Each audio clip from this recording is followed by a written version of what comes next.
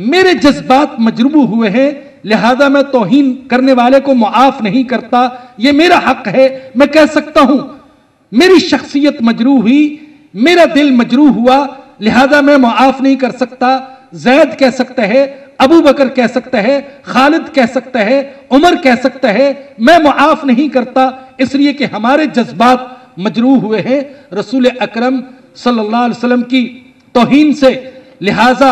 یہ کہہ دینا کافی نہیں ہے کہ چونکہ حضور معاف کرتے تھے، ہم بھی معاف کریں۔ زرداری کون ہوتے ہیں اور گیلانی کون ہوتے ہیں؟ رسول اللہ صلی اللہ علیہ وسلم کی توہین کرنے والے کو معاف کرنے والے۔ ہو سکتا ہے کہ اس تنقید سے، اس توہین سے ہمارے صدر، ہمارے وزیر اعظم، ہمارے وزیر داخلہ کے جذبات مجروح نہ ہوئے ہوں، لیکن ڈیڑھ ارب مسلمانوں کے جذبات مجروح ہوئے ہیں تو کسی ایک کو مجرم کو معاف کرنے کا حق حاصل نہیں۔ اور ایک بات یہ بھی اس حوالے سے ذہن میں آتی ہے کہ جس زمانے میں رسول اللہ صلی اللہ علیہ وسلم نے توہین کرنے والوں کو معاف فرمایا، اس زمانے میں آپ نے بعض سود خوروں کو بھی معاف کیا، بعض قاتلوں کو بھی معاف کیا اور ستم گروں کو معاف کیا، حیرت بلال پر ظلم کرنے والوں کو حیرت سمیہ پر ظلم کرنے والوں کو حیرت خبیب پر ظلم کرنے والوں کو معاف کیا، لیکن کیا یہ قیامت تک کا دستور بن گیا کہ اب جو بھی ابو جہل کا بیٹا اور ابو لہب کی ضروریت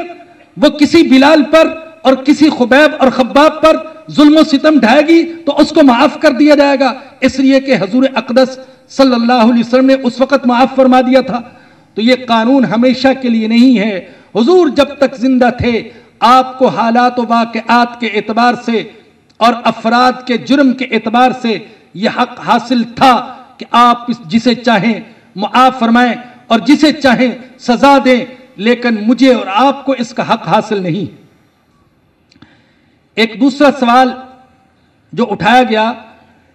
پانچواں سوال آپ کہہ سکتے ہیں، وہ یہ کہ کیا کسی کو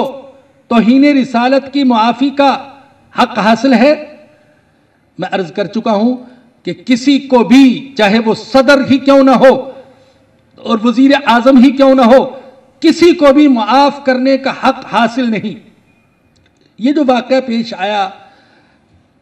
جس کا آج کل میڈیا میں بڑا چرچا ہے، آپ ذرا اس واقعے کی تفصیلات میں جائیے کہ تقریباً ڈیڑھ سال تک عدالت میں یہ مقدمہ چلتا رہا۔ ملزمہ کو صفائی کا پورا پورا موقع دیا گیا۔ دونوں طرف سے گواہ پیش ہوئے۔ اور حالت یہ ملزمہ کے اپنے مقدمے کی کمزوری کا حال یہ ہے کہ اس کا شوہر بھی اس کے حق میں گواہی دینے کے لیے تیار نہیں ہوا۔ اور ہمارے پنجاب کے گورنر صاحب پہنچ گئے اور انہوں نے میڈیا کو یہ بیان دیا کہ اول تو یہ مقدمہ ہی جھوٹا ہے اور میں صدر مملکت سے اپیل کرتا ہوں کہ وہ اسے معاف کر دیں۔ حالانکہ اگر یہ مقدمہ ہی جھوٹا تھا تو پھر اس تھانے دار کے خلاف، اس نمبردار کے خلاف مقدمہ ضرور درج کرنا چاہیے تھا، جنہوں نے یہ جھوٹا الزام اس پر لگایا اور ان کو جیل تک پہنچایا۔ اور اگر یہ مقدمہ جھوٹا ہے تو معافی کا کیا مطلب؟ معافی کے لیے بڑے بے چین ہیں۔ وہ اس وقت بے چین نہ ہوئے جب جرمنی میں صرف حجاب کی وجہ سے اٹھارہ وار کر کے عدالت میں، بھری عدالت میں مصر کی مربع کو شہید کر دیا گیا اور اس وقت بے چین نہ ہوئے جب آفیہ صدیقی کو چھیاسی سال کی قید سنا دی گئی اور حقوق انسانی کی تنظیمیں بھی خاموش رہی اور آج وہ بڑے بے چین ہیں کہ ایک عورت پر ظلم ہونے والا ہے۔ تو ہم بھی اس بات کے حامی ہیں کہ شفاف مقدمہ چلایا جائے، ہائی کورٹ میں پہنچے، سپریم کورٹ تک پہنچے۔ اگر عدالت اس نتیجے تک پہنچتی ہے کہ یہ عورت بے گناہ ہے، تو اس پر ظلم نہیں ہونا چاہیے، اسے رہا کر دیا جائے۔ لیکن اگر اس کا جرم ثابت ہو جاتا ہے، تو پھر اسے اس کے جرم کی سزا ملنی چاہیے تاکہ آئندہ کے لیے توہین رسالت کا دروازہ بند ہو جائے۔ ایک پانچواں سوال جو اٹھایا گیا، وہ ہے قانون توہین رسالت کی تاریخ اور بر صغیر پاک و ہند میں اس کی تنفیذ۔ جب ہم تاریخ کا مطالعہ کرتے ہیں، تو یہ بات سامنے آتی ہے کہ توہین رسالت کے قانون کی تشکیل کے لیے آئینی تحریک سب سے پہلے اس بر صغیر میں حضرت مولانا محمد علی جوہر رحمت اللہ علیہ نے چلائی انیس سو ستائیس میں، جب لاہور ہائی کورٹ نے رنگیلا رسول کے ناشر راج پال کو یہ کہہ کر چھوڑ دیا تھا کہ قانون کی نظر میں توہین پر مشتمل کسی کتاب کا چھاپنا کوئی جرم نہیں ہے۔ لیکن صرف دو سال بعد انیس سو انتیس میں غازی علم الدین شہید رحمت اللہ علیہ نے اس کتاب کے مصنف راج پال کو جہنم رسید کیا تو مولا محمد علی جوہر رحمت اللہ علیہ نے یہ تحریک اس لیے اٹھائی تاکہ کسی شخص کو، کسی مسلمان کو قانون ہاتھ میں لینے کی جرت نہ ہو، بلکہ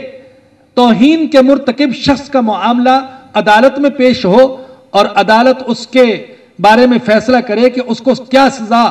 دینی چاہیے۔ حقیقت یہ ہے کہ یہ قانون نا حق اور بے گناہ لوگوں کو بچانے کے لیے ہے، ان کو پھنسانے کے لیے نہیں ہے۔ چنانچہ آپ اگر اس قانون کی تاریخ کا مطالعہ کریں تو جب سے یہ قانون نافذ ہوا، اس وقت سے لے کر آج تک ملزموں کو بچایا تو گیا ہے، لیکن ان میں سے کسی کو بھی موت کی سزا نہیں دی گئی ہے۔ تو یہ قانون تو حقیقت میں تحفظ کا ذریعہ ہے تاکہ کسی بے گناہ کو قتل نہ کیا جا سکے۔ اگر بالفرض اگر بالفرض اللہ نہ کرے، سامراجی اور امریکی کوششیں کامیاب ہو گئیں اور قانون توہین رسالت میں کچھ ترمیم کی گئی یا اسے منسوخ کیا گیا، تو پھر ایسے مجرموں اور ایسے ملزموں کو محبت کرنے والے مسلمانوں کی تلوار اور خنجر سے کوئی عدالت نہیں بچا سکے گی جو رسول اکرم صلی اللہ علیہ وسلم کی توہین کے مرتکب ہوں گے۔ میں نے پہلے بھی عرض کیا آپ ہمیں اس حوالے سے جذباتی کہہ لیں، آپ شدت پسند کہہ لیں، آپ ہمیں دقیانوس کہہ لیں، لیکن یہ حقیقت ہے کہ مسلمان چاہے وہ کتنا ہی گیا گزرا کیوں نہ ہو، اس کے دل میں رسول اکرم صلی اللہ علیہ وسلم کی جو محبت ہے، وہ کسی دوسرے رشتے کی نہیں ہے۔ اور وہ اس بارے میں جتنا حساس ہے، کسی دوسرے رشتے کے بارے میں اور کسی دوسرے کی ناموس کے بارے میں اتنا حساس نہیں ہے۔ اگر بالفرض یہ قانون منسوخ کیا گیا تو قتل کا سلسلہ دوبارہ شروع ہو جائے گا، جیسے کہ اس قانون کی تنفیذ سے پہلے تھا۔ ایک چھٹا سوال جو کیا گیا، وہ یہ کہ توہین رسالت اور سابقہ شریعتیں اس بارے میں کیا کہتی ہیں؟ تو مختصر طور پر جو حوالے ہمارے سامنے آئے ہیں، وہ یہ کہ یہودیوں کی تالمودی یہودیوں کے جو تالمودی قانون تھے، ان کی روح سے بنی اسرائیل کے انبیاء اور تو تورات کی توہین کی سزا یہ قتل تھی۔ اور عہدنامہ عتیق میں نائبین رسول کی توہین کی سزا بھی قتل ہے۔ اور یورپ میں چرچ نے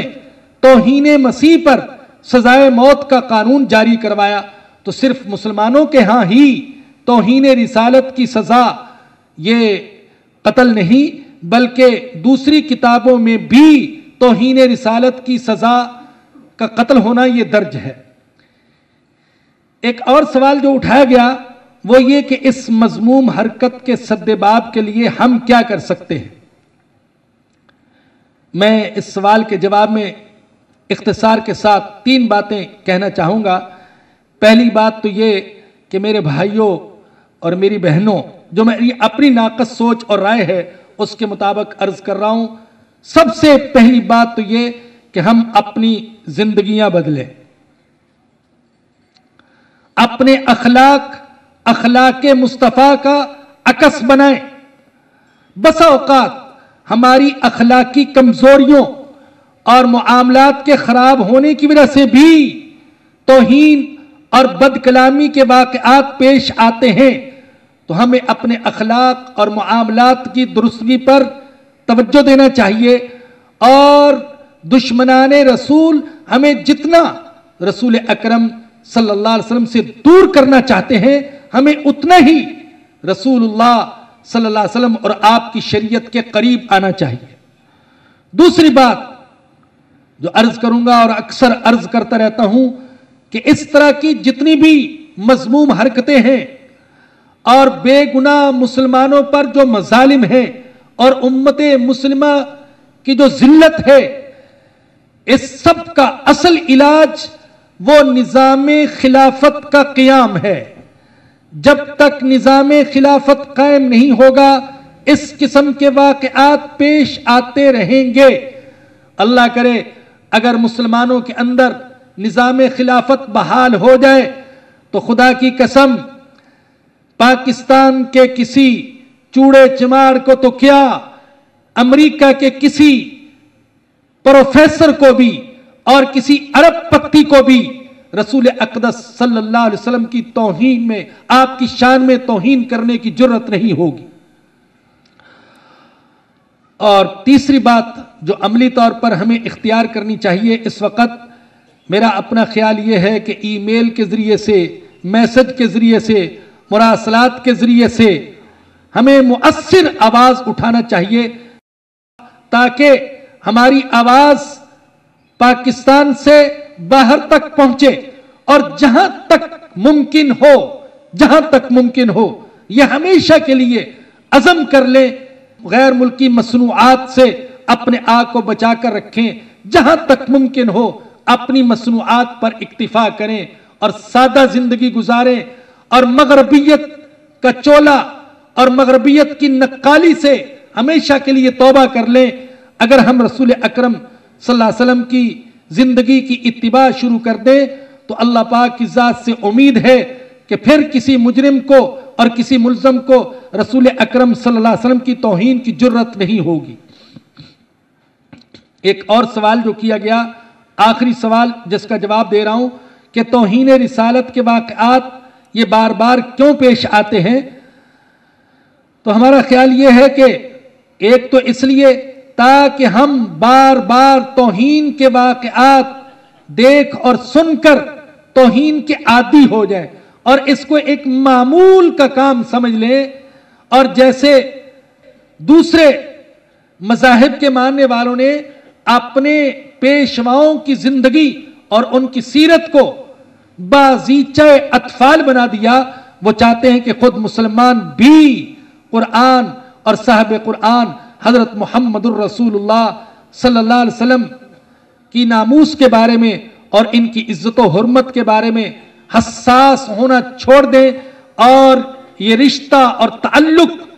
یہ ان میں باقی نہ رہے۔ اور جب رسول اللہ صلی اللہ علیہ وسلم سے رشتہ نہ رہا اور آپ کی ناموس کی عظمت اور حرمت دلوں میں باقی نہ رہی تو پھر کچھ بھی باقی نہ رہا۔ اس لیے کہ ہم جو کچھ ہیں وہ نسبت رسول سے ہیں اور نسبت قرآن سے ہیں۔ وہ جانتے ہیں کہ جب تک مسلمانوں کے دل میں قرآن اور صاحب قرآن کی حرمت موجود ہے، انہیں کفر کے سامنے نہیں جھکایا جا سکتا۔ اور اگر معاذ اللہ مسلمانوں کے دل میں قرآن اور صاحب قرآن کی حرمت باقی نہ رہی تو پھر انہیں کفر کے سامنے جھکنے